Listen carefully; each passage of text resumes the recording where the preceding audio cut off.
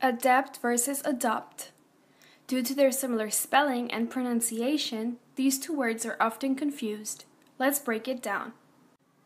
Adapt is used as a verb and refers to the action of taking something and changing it for a special purpose.